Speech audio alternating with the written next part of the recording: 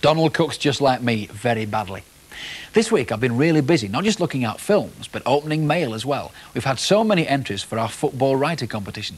If you remember, what you had to do was choose your favourite goal from last season and describe it in not more than 100 words. And one of the judges was Steve McGarry, who illustrates goals for Match magazine, and he's here today to tell us who the winner is. Steve, first of all, what was the overall standard like? We were pleasantly surprised. Honestly? because, yeah, the standard was very, very good. It seemed that everybody had sat down and actually thought about what they were going to write, you know, really yes. good. Yes. And did they sort of do the build-up? Because when you were here before, we were talking about them, you know, the, the fact that Yeah, you actually yeah. illustrate the build-up to the goal and then the actual goal itself. Did they do all that? Yeah, it seemed that people had actually researched the goals. I mean, they were going back like two and three minutes into a move to tell you how it built up and who was involved and how it finished up. And yeah. that then, of course, meant you had to do research to find out if they were right. Telling the truth, yeah. And what was the overall response like? very encouraging, yeah. It seemed a good response. That's good. Now, what was the most popular goal that people sent in?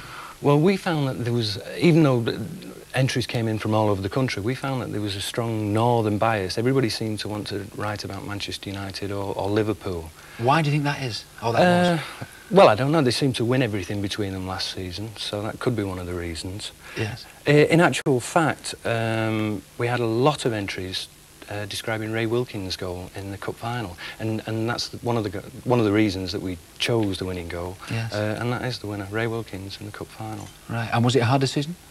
Um, yeah, very hard. Now we can take a look at that goal now and see what our winner, who is Stephen Nichols, has made of it. With the score at one each, Stephen writes, Manchester United broke from defence with Arnold Mühren in possession of the ball. From inside his own half, the Dutchman played a long crossfield pass to Ray Wilkins. It was a pass that had opened up the Brighton defence and it gave the cool Wilkins time to check himself, look up and expertly drive a spectacular curling shot over Brighton keeper Graham Moseley's despairing dive. What a goal! Now, Steve, why was that the winner? Well, I mean, it was such an important goal, uh, and, and it was a great goal. Uh, we, as I said, had quite a few entries saying that that was such a good goal. And we eventually picked Stephen Nichols' uh, entry because he'd written it so well. Uh, he actually told us exactly what happened. I mean, from the ball coming out of the United area all the way through to the going into the back of the Brighton net. Uh, and he impressed us with his honesty because Stephen's a, a Chester boy and, and a Liverpool supporter. So by picking Manchester United, he must have been telling the truth. Well, we can bring Stephen in now because here you are. Congratulations. Thank you. Well done. Tell us all about uh, the research for the, for the actual goal. Well, what I did was I thought of all the good goals of last season, and I thought, well, I'll do Ray Wilkins because it's an important one, Yes. and a lot of people saw it as well. Right. Now, you're obviously a keen soccer fan. Were you actually at the match? No, You weren't? no, Amazing. What about future plans? Would you like to be a sports journalist? yeah. What other sports are you interested in uh, besides soccer? Uh, cricket, badminton, basketball. hmm Do you do any, any writing at all? I mean, for, for the school magazine or, or school paper? I'm starting to. I Yeah. decided I was going to now. Because you've, you've really got to have a comprehensive kind of interest in, in, in, in other sports. How do you think you'd like to write on other sports as well? Well, I haven't given it a thought yet, but I suppose I'd better start. Right. Now, we've got a surprise for you now because here to present your prize is one of the men who played in that cup final, Manchester United fullback, Arthur Albiston. Here he is, bearing gifts. Hello. Hello. What do you think to our budding sports reporter then, uh, Arthur? Very good. Um, I liked his little piece tremendously, and um, he shows a lot of um, truth. Uh, being a Liverpool supporter, he's picked a Manchester United goal.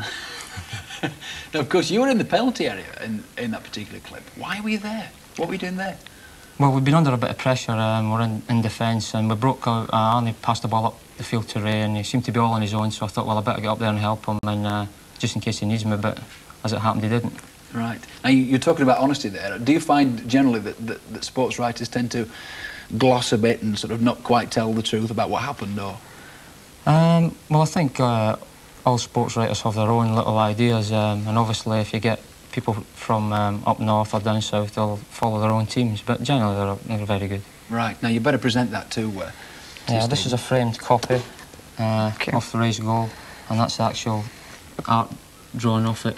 Thank you. And uh, I couldn't give you my shot from the cup final um, from that match because it got stolen, but uh, this is the next best thing. It's the It's the Charity Shield shirt that I wore against Thanks. Liverpool uh, when we beat your team 2-0. It's absolutely So great. I hope you don't throw it in the bin. Congratulations. Thanks a lot. Well done, Stephen. And of course, thanks to Arthur and Steve for coming in this morning. I think Stephen could give the hero of our next cartoon a few writing tips. It's another fractured fairy tale all about the storyteller who is looking for some new material.